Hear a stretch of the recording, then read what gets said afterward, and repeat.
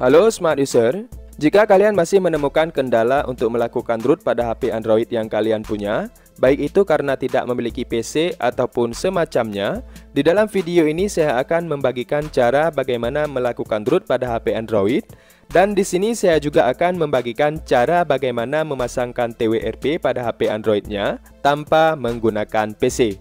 Langsung saja kita masuk ke dalam tutorialnya. Adapun persyaratan yang kalian butuhkan di sini, yang pertama adalah HP yang ingin kalian root tadi harus sudah dalam keadaan unlock bootloader.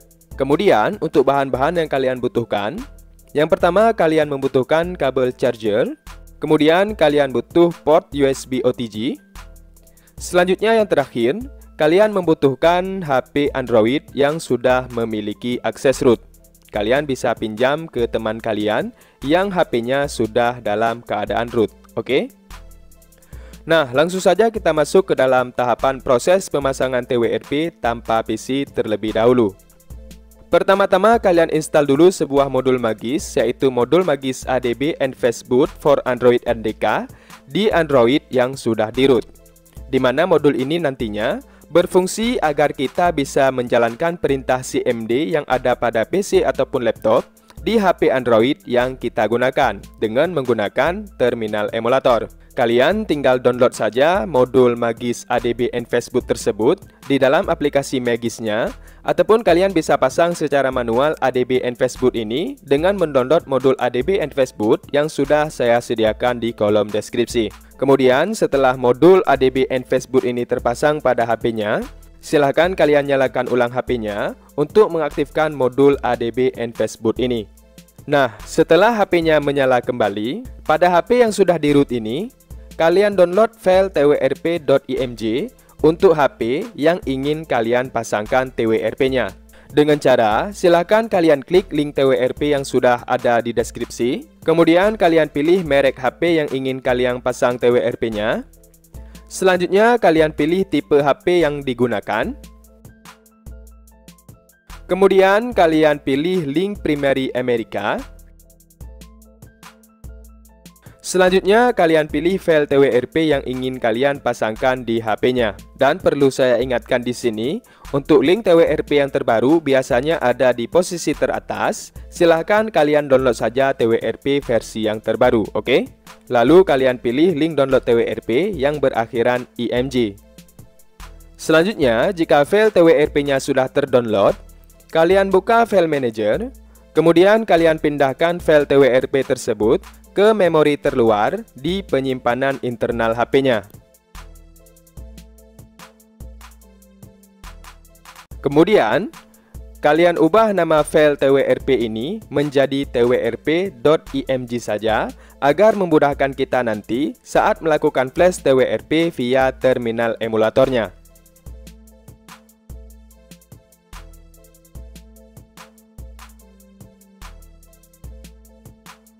Selanjutnya, kalian download terminal emulator, lalu kalian buka aplikasinya.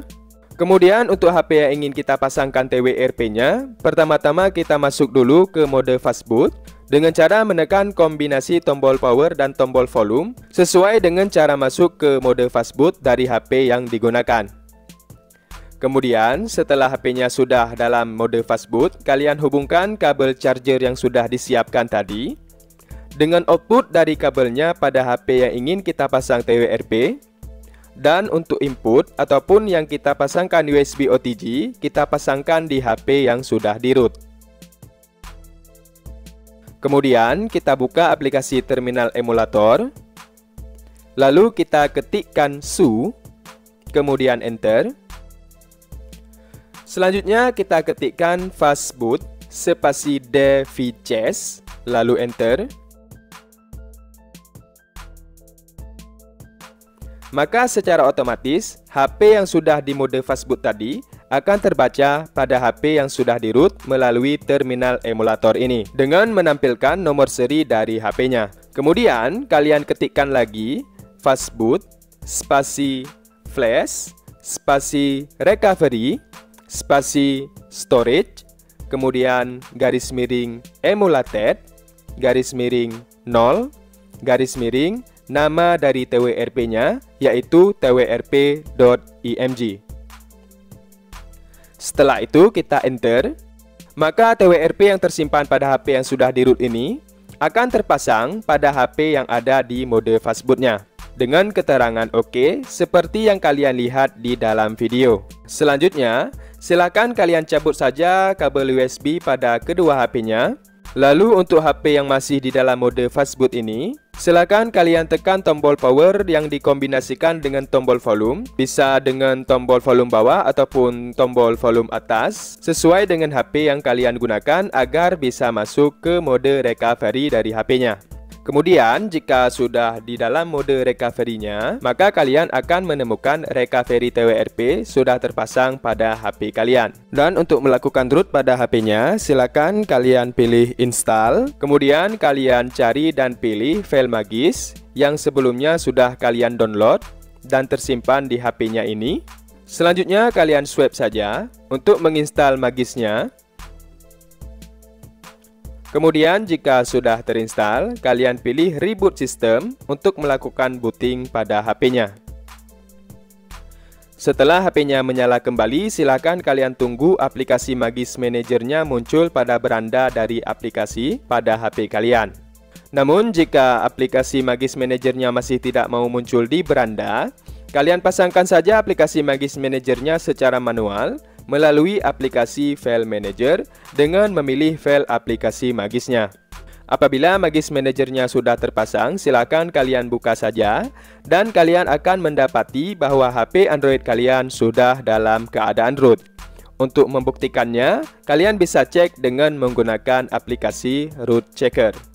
Nah, sekian dulu dari saya tentang cara bagaimana melakukan root pada HP Android dan menginstal TWRP tanpa menggunakan PC. Semoga video ini bermanfaat. Sampai jumpa lagi di video selanjutnya. Salam Smart User.